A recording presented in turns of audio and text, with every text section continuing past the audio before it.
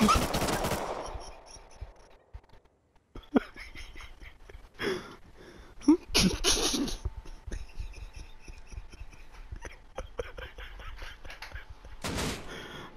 my!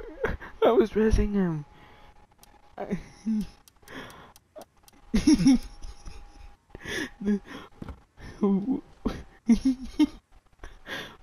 what made funny is because Arturo came in trying to stop the fight going down.